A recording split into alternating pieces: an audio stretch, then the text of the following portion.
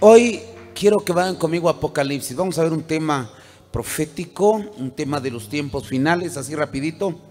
Apocalipsis 3.10. ¿Ya estamos ahí?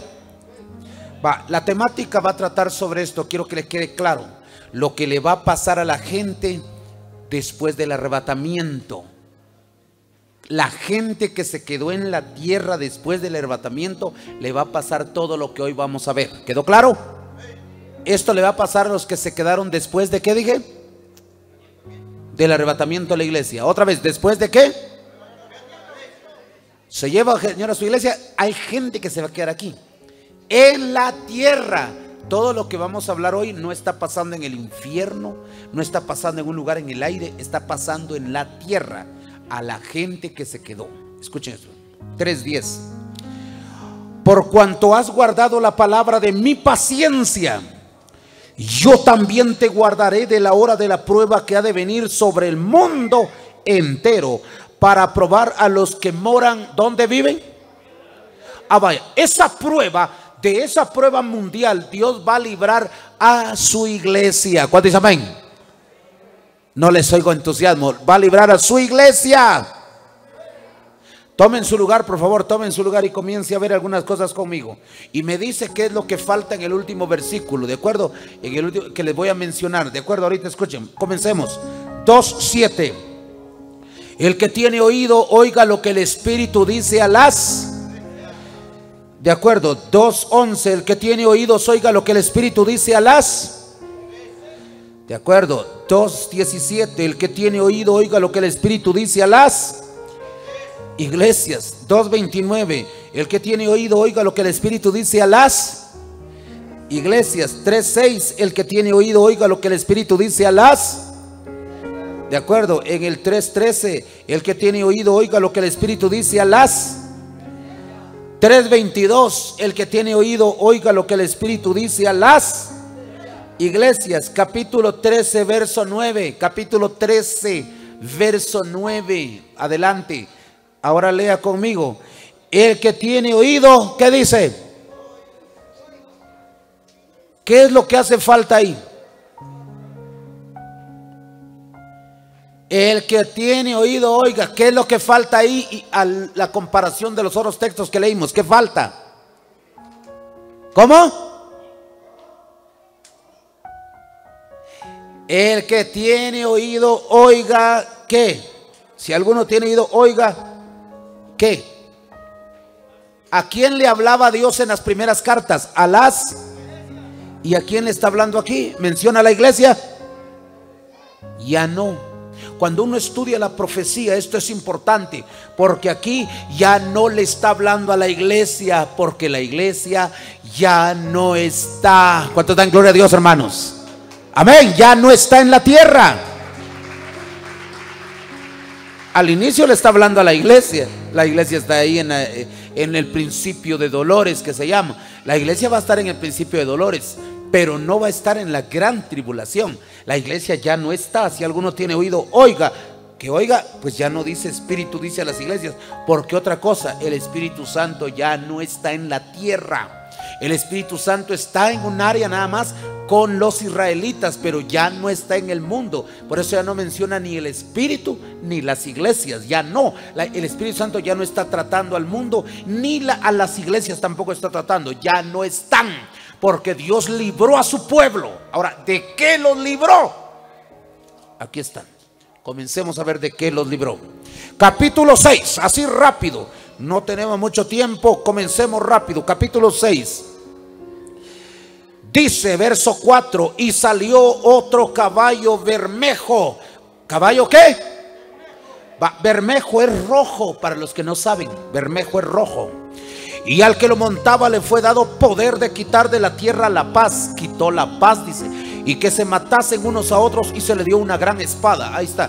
Punto uno. Empieza el sufrimiento. Dice que cuando venga después del arrebatamiento, un ángel, uno de los jinetes ahí, va a quitar la paz de la tierra. ¿Sabe qué es lo que hace ahorita que todavía haya un poco de tranquilidad? Todavía hay paz en la tierra. A ver, ¿qué es lo que hay en la tierra?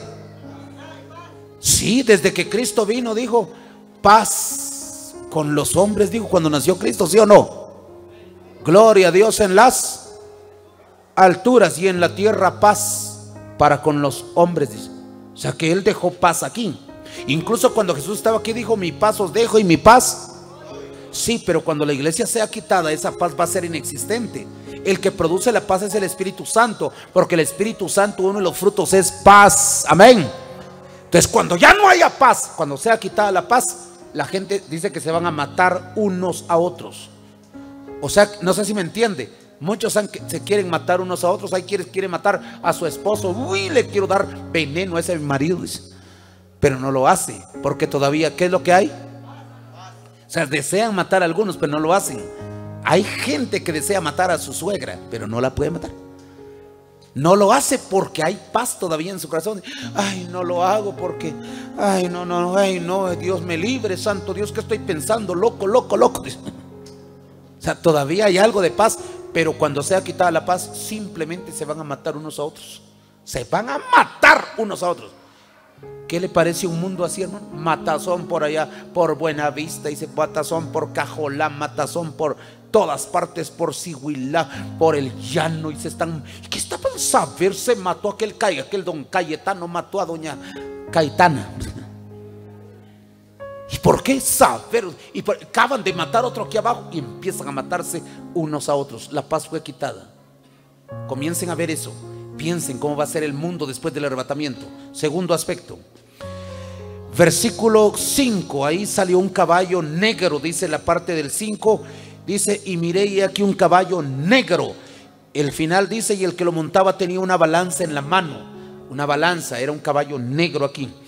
Y oyó una voz en medio de los cuatro seres vivientes que decía, dos libras de trigo por un denario y seis libras de cebada por un denario. Ahora acuerdo, escuchen, ¿cuánto vale la libra de cebada? Disculpen, la libra de cebada, ¿cuánto vale? ¿Alguien va al mercado aquí, hermano? ¿Alguien toma cebada en su casa aquí? Ah, no, no, de acuerdo, no saben, de acuerdo. Muy o los de grupo, ¿alguien sabe cuánto valen los libres de cebada? ¿Ah? Cinco quetzales. Dios bendiga al hermano. Dios lo bendiga, hermano. Él va de compras con su esposa. Qué bendición. Una libra de cebada vale cinco, pero ya está tostada, ya está preparada. Una libra de cebada así simple, si no está tostada, vale como tres quetzales. Es un ejemplo. Ahora, digamos que valga cinco. Entonces, entonces aquí dice seis libras de cebada por un denario. Un, denario vale como 150 quetzales. ¿Me está oyendo? Y si seis libras de trigo valen cinco, digamos, serían 30 quetzales. Y si las seis libras van a valer 150 quetzales, ¿va a ser barato o va a ser caro, hermanos? Va a ser como cinco veces su precio normal. O sea, las cosas se van a poner bien caras. ¿Oyeron, hermanos?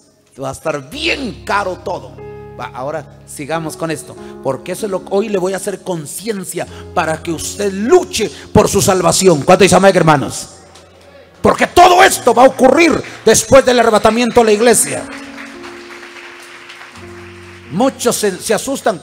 ¿Cuánto vale el tomate? Calles está a 5 y el sábado pasado estaba a 3. Subió a 5. Ay Dios, solo subió dos quetzalitos nada más. Ni al doble llegó. A ese tiempo va a valer casi, casi al, uno, dos, tres, como cinco veces su precio. Es carísimo, va a ser muy caro. Todas las cosas van a ser caras. Y sigue, verso 8. Miré y un caballo amarillo y el que lo montaba tenía por nombre muerte y el infierno le seguía. Y le fue dada potestad sobre la cuarta parte de la tierra. Ahora vean esto. Para matar con espada. Aquí sí se van a matar con armas los hombres. Se van a matar con armas, matar con espada. Pero hay otra forma. Con hambre. Como ya no se puede comprar nada, todo está caro. Mucha gente va a morir de hambre en ese tiempo. Créame, hermano. Si ahorita algunos están desnutridos, ya imagínense que ese tiempo, hermano. Con hambre con mortandad.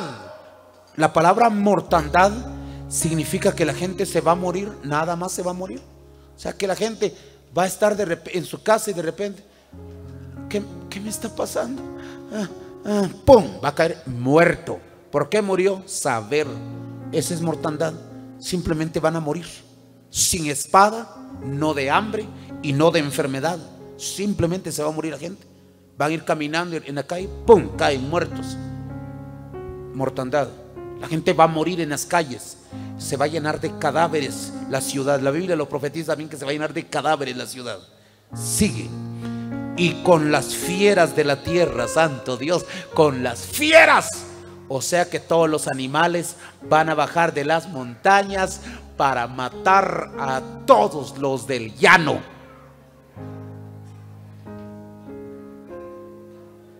Y no me diga que aquí, gracias a Dios, no hay. No tenga pena. Hay unas montañonas allá. De allá van a venir los coyotes. Los tigríos. Aquí, aquí por donde está el volcán Santa María, en la parte de atrás, me contaron que hay pumas, por cierto. Ahí han visto pumas y han visto tigres y tigrillos atrás. Tigrillos han visto. Y pumas atrás del volcán Santa María. Incluso me mostraron una foto donde cazaron un puma ahí. Esos animales van a venir aquí. Ah, y no solo los perros. Todos los animales se van a volver violentos. Y usted dirá, no le creo ya. Casualidad que el hermano Juan dice, así es.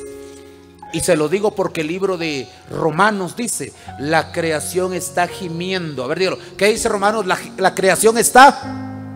O sea, todos esos animales esperando la manifestación gloriosa de los hijos de Dios. O sea, que ellos están esperando que ocurra el arrebatamiento. Los animales, la creación, están esperando que eso suceda. ¿Por qué? Porque se va a cumplir la profecía de Amós 5.19. ¿Sabe qué dice Amós 5.19? En aquel tiempo los, será como el hombre que huye del león. O sea, va en la calle y mira un león. Y un león sale volando. Y cuando va para allá, un oso, dice la Biblia, va huyendo del león. Lea Amós si quiere. Y después huyendo del león, se encuentra con un oso. Y va y entra a su casa, dice, porque ¿a dónde huye uno, hermano? A su casa. Por tonto me subo a un árbol, el oso se sube al árbol.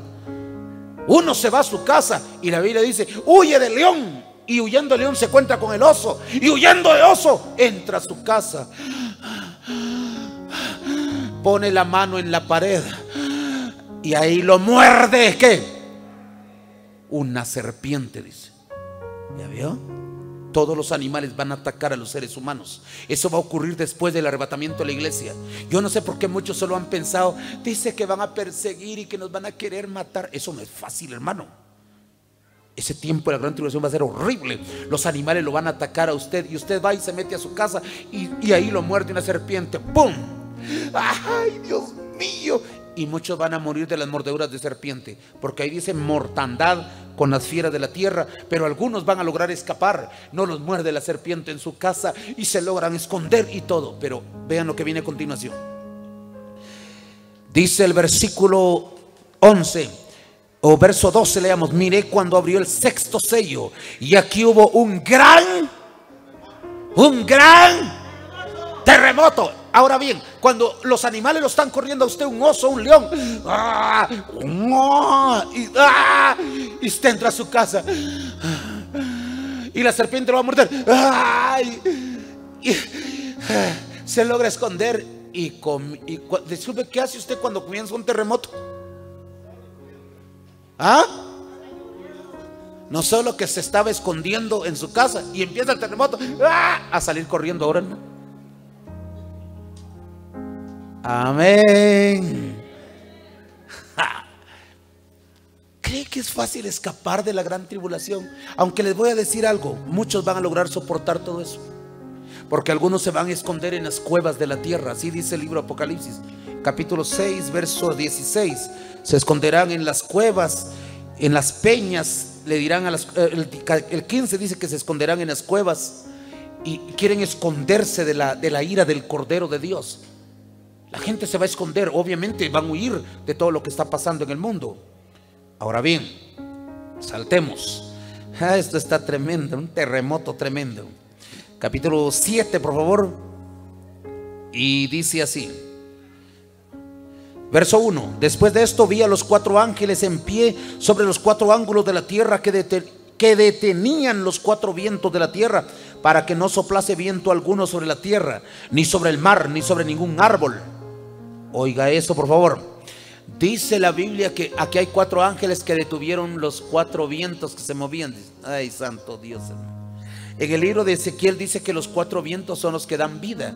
Por eso cuando Ezequiel también profetiza sobre los huesos secos, dice, espíritu de los cuatro vientos, soplen. O sea, los cuatro vientos son los que le dan vida al hombre.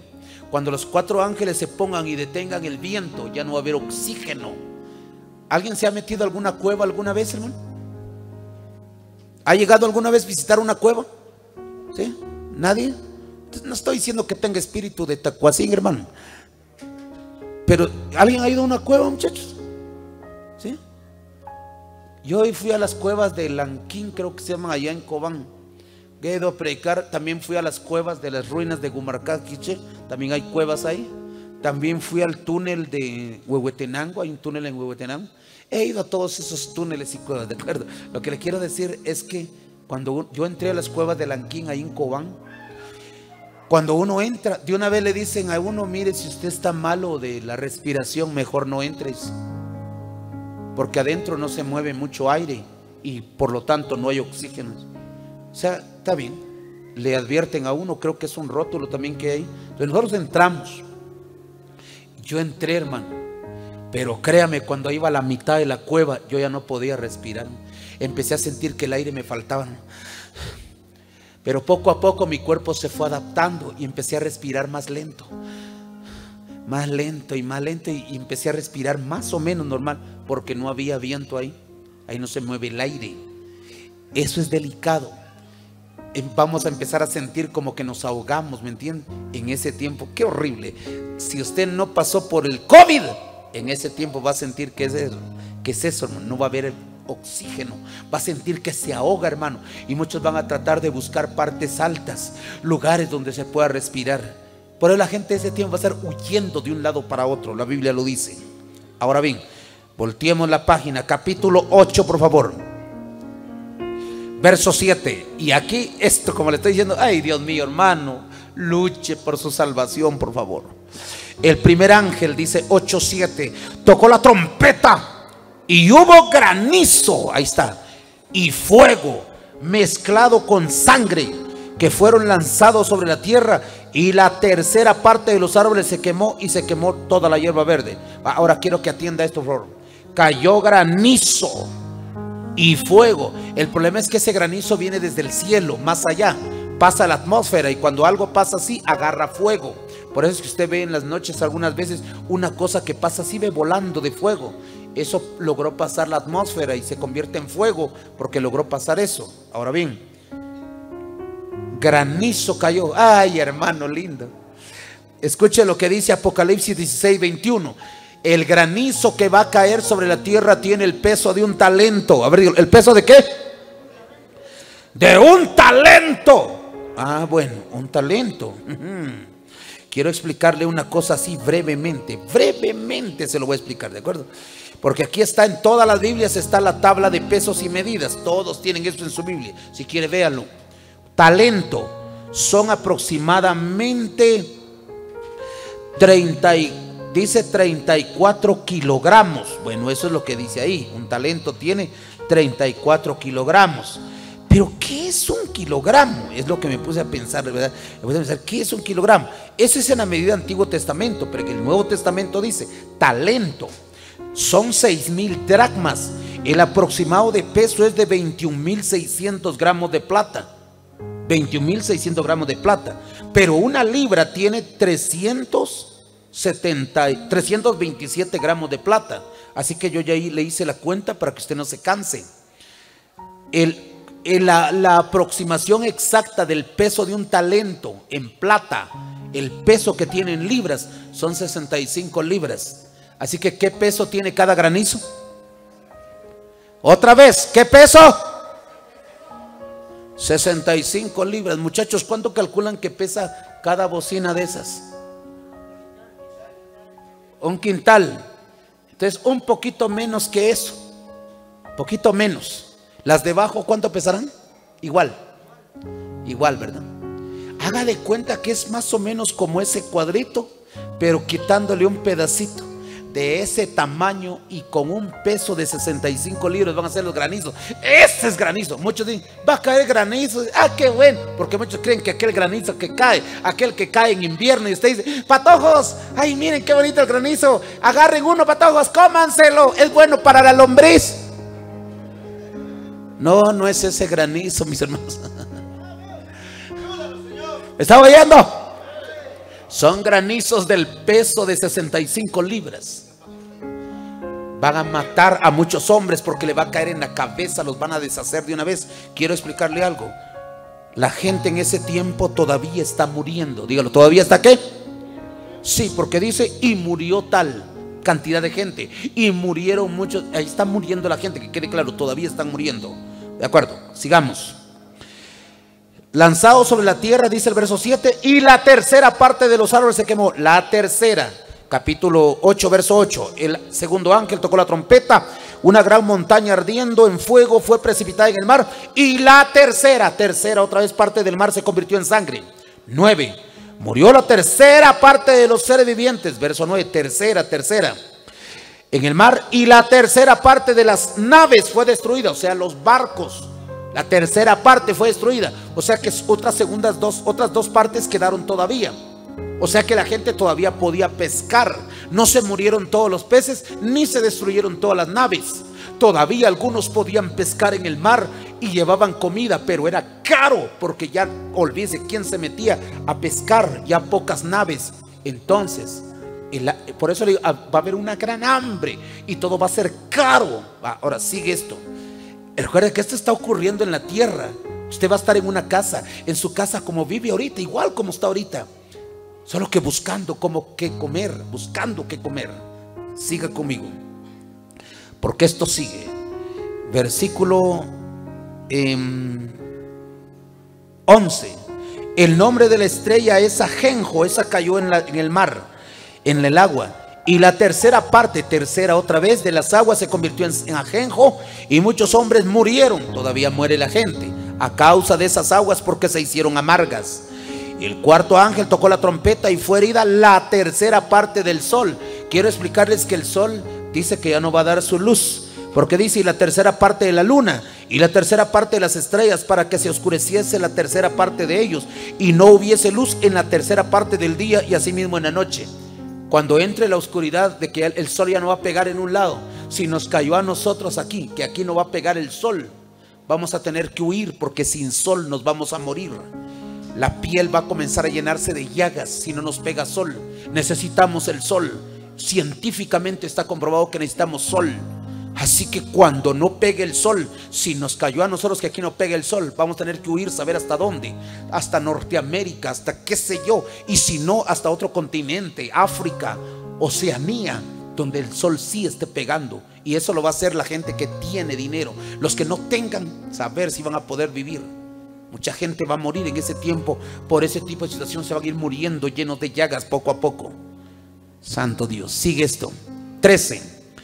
Miré y oí a un ángel volar por el medio del cielo diciendo a gran voz, ay, ay, ay, de los que moran en la tierra. ¿Dónde están ocurriendo todas esas cosas? Le está quedando claro, ¿verdad?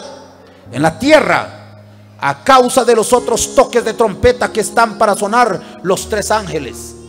Y sigo con esto, le repito, lo estoy llevando rápido por este viaje a través de la gran tribulación. Dice, el quinto ángel 9.1 tocó la trompeta y vi una estrella que cayó del cielo a la tierra y se le dio la llave del pozo del abismo. Santo Dios, no tengo tiempo de explicar eso.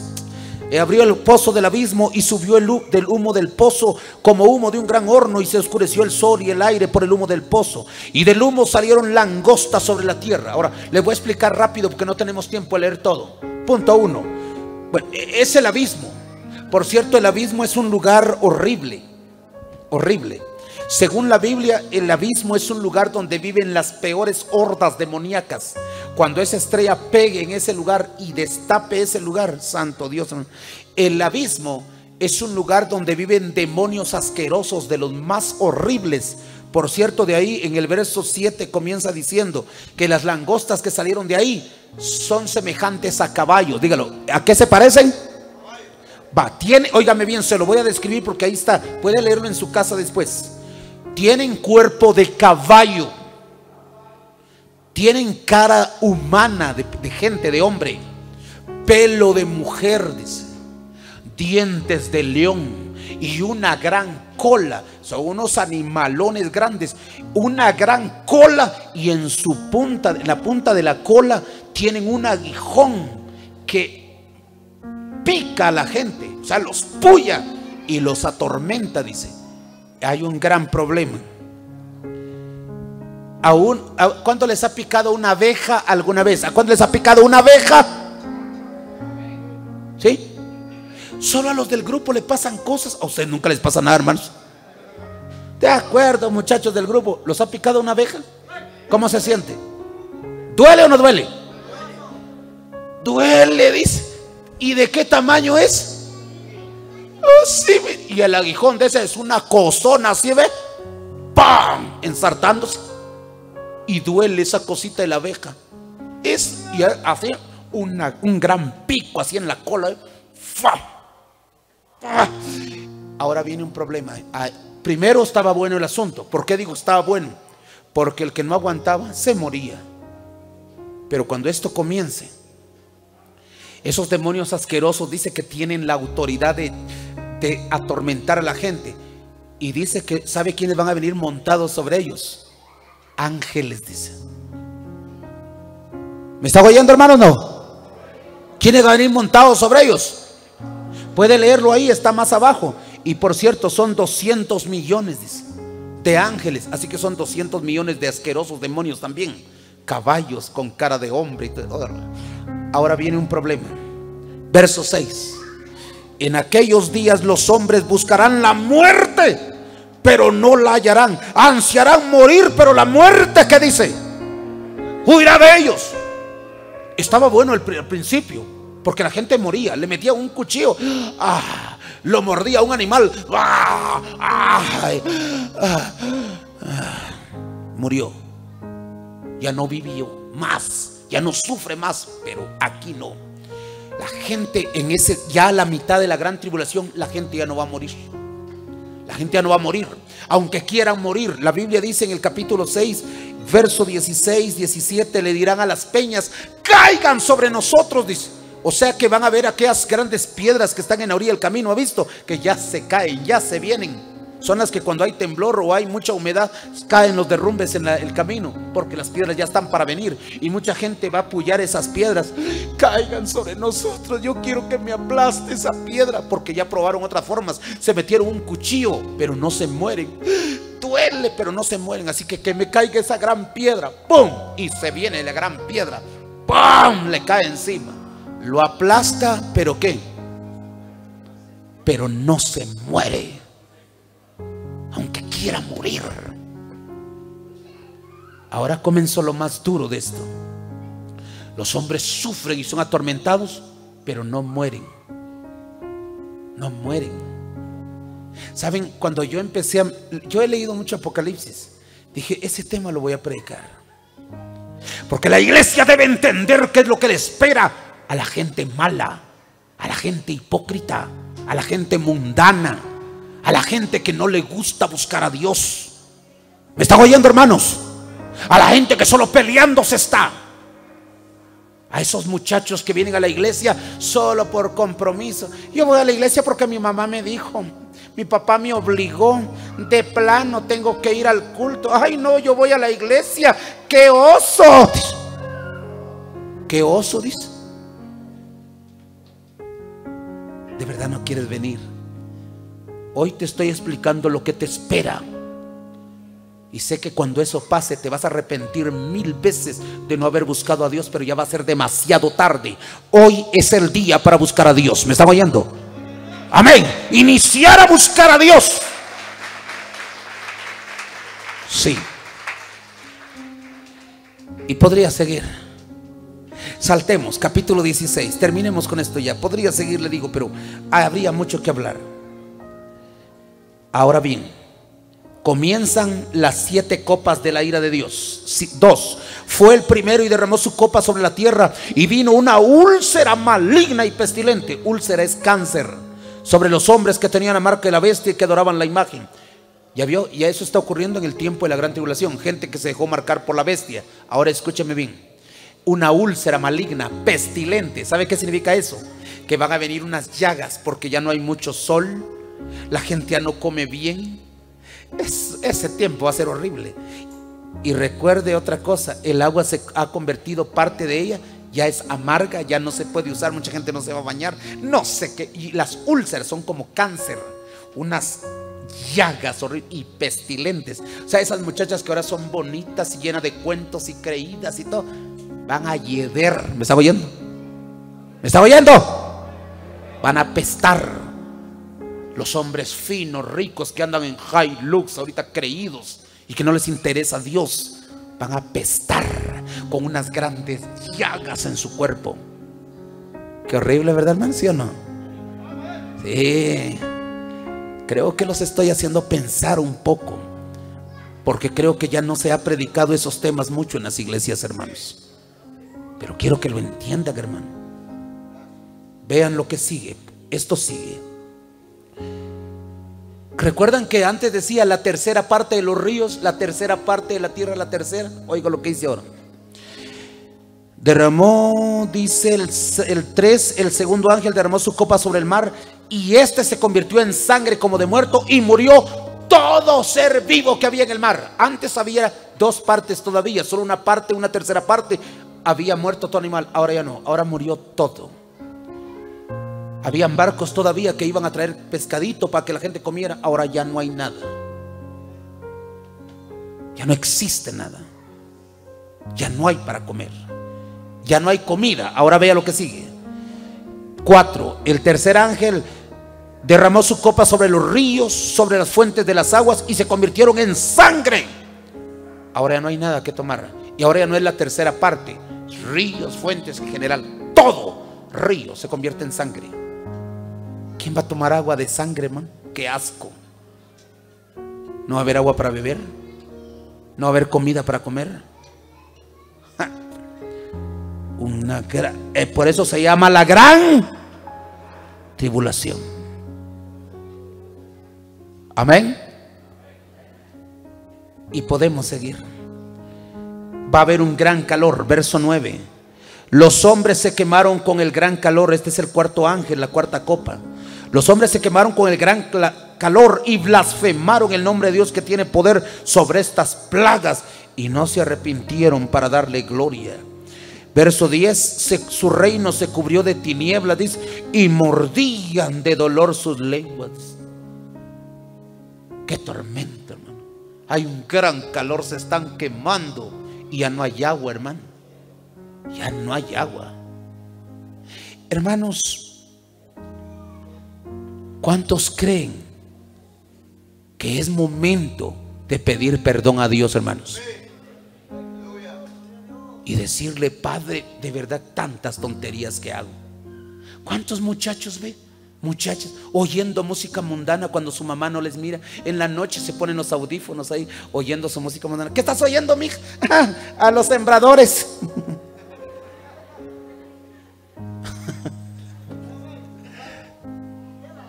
Lengua largas. Lengua más larga que mi corbata. Pero se va a pagar aquel día. Ese muchacho que tiene tres novias engañando a una. Yo soy la única, soy la única. Eres la única, mi amor. La única del llano. La única del llano. Aparte la de Cajolá, ¿verdad? Tiene una en Cajolá chiquito y otra en Cajolá grande. Así, de camino visita las dos para no gastar más gasolina. Cambien de vida cambiemos de vida, hermanos. Ya viene el día en que Dios va a pagar a cada uno por sus obras y por sus hechos. Y estar en la gran tribulación va a ser horrible, hermano, horrible. Lo que le acabo de decir solo es parte, no le dije todo. Aquí hay unas partes que no le puedo explicar porque son muy científicas, demasiado amplias para explicar, pero van a pasar cosas horribles, hermano. La gente, ¿sabe cuánto va a durar la gran tribulación? Le voy a contar. 1335 días. Y el que aguante ese tiempo va a lograr vivir cuando comience el milenio un su tiempo y va a morir solo para esperar su condenación eterna. Los que lograron vivir 1335 días de gran tribulación. Pónganse de pie, por favor. Yo desafío a todos, a los que están viéndonos allá en los Estados Unidos o en cualquier país a través de las redes sociales, a ustedes que están aquí hoy. A, mí me da ganas de llorar cuando predico esto, hermano. De verdad. Si miran mis ojos ya tienen un poco de color vidrioso. ¿Sabe por qué me da mucha tristeza? Porque mucha gente hoy ni siquiera le importó lo que yo prediqué. Se van a ir iguales. Hermanos, es momento de cambiar. Si alguien considera que es su momento de pedir perdón, quiero que levante su mano. Yo la levanto. Yo le quiero decir a Dios, Señor, de verdad, perdóname todos mis errores. Perdona todas mis faltas. Perdóname por las locuras que hago ahora que soy joven. Digan ustedes, joven, cuántas locuras hacen ustedes. ¿Cómo le contestan a su mamá? Su mamá le dice, entendé, mi hija, no sirve. Me cae mal usted, vieja. Piénsenlo. Todas las tonterías que hacen. Y pronto puede venir Jesucristo. ¿Habrá alguien que esta noche no sea cristiano y quiera entregarle su vida a Cristo? Yo le invito a hacerlo esta noche. Si hay alguien que está caído y quiere reconciliar, por favor reconcilie. Está a tiempo. No se ha muerto y no ha venido Cristo. Tiene oportunidad de reconciliar con el Señor. Cierre sus ojos. Y si usted quiere pedir perdón, por favor levante sus manos y comencemos a rogar misericordia. Padre Celestial, toda la gloria y toda la honra sean para ti, Rey soberano del universo. Hoy de todo corazón he compartido esta palabra que tú has puesto en mi corazón. Es mi responsabilidad decirle a tu pueblo esto para que hagan conciencia de lo que pronto vendrá. Que deben cambiar de vida, que debemos cambiar de vida. Ten misericordia de nosotros, Padre.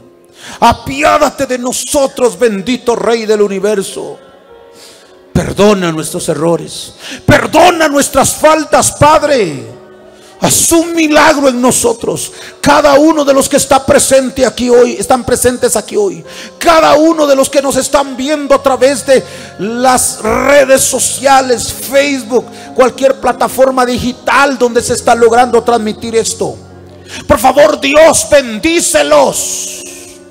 hoy podría ser el último día quiero que me perdones, quiero que limpies mi vida, quiero que limpies a tu iglesia, quiero que la sangre de Jesucristo, tu Hijo, nos limpie de todo pecado esta noche. Y que nos des la bendición de alcanzar la vida eterna. Quiero que nos des la bendición si vienes esta noche, si vienes cuando estemos ya dormidos, si vienes ahora que vayamos en camino a nuestra casa por favor, llévanos contigo. Llévanos contigo, bendito Padre Celestial. Ayúdanos, Dios eterno. No queremos ser parte de ese tiempo de la gran tribulación. Queremos alcanzar la vida eterna. Yo quiero estar en el lugar donde tú estás, Padre. Quiero que bendigas a tu iglesia. Quiero que bendigas a los hermanos y hermanas que han tomado conciencia y te están pidiendo perdón esta noche. Perdona a tu pueblo. Perdona a los amigos que te están rogando misericordia hoy. Perdona a aquellos que están allá en, su, en sus hogares y viendo a través de internet están diciendo yo debo cambiar. Bendícelos, Padre. Las cosas cada vez irán de mal en peor. Esto no se va a solucionar. El mundo va en retroceso, en decadencia. Pero eso significa que se acerca el día en que la iglesia va a volar contigo. Te pido que nos hagas dignos de participar en el arrebatamiento de la iglesia. Ten misericordia de nosotros, Padre. Recibe a cada hermano que hoy te pide perdón. Recibe esa oración de arrepentimiento, Padre porque no queremos pasar en ese lugar. Tu palabra ha dado la promesa, yo te libraré de la hora de la prueba que ha de venir sobre el mundo entero para probar a los que moran sobre la tierra. Yo no quiero pasar por esa gran tribulación que ocurrirá aquí en la tierra. Ten misericordia de nosotros. Apiádate, Padre Celestial, y haznos dignos de alcanzar la salvación y la vida eterna, Padre. Con todo el alma te lo suplico, con todo el alma te lo ruego. Gracias por esta noche, Padre Celestial. Toda la gloria y toda la honra sean para ti. Gracias, Rey de Reyes y Señor de Señores. En el nombre poderoso y maravilloso de Jesucristo, tu Hijo de Nazaret. Amén. Amén. Todo el que recibió esa palabra, créame, se está preparando para la vida eterna. Bendiciones para todos, pueblo de Dios. Ha sido un gran honor estar con ustedes y nos veremos en una próxima. Bendiciones para todos.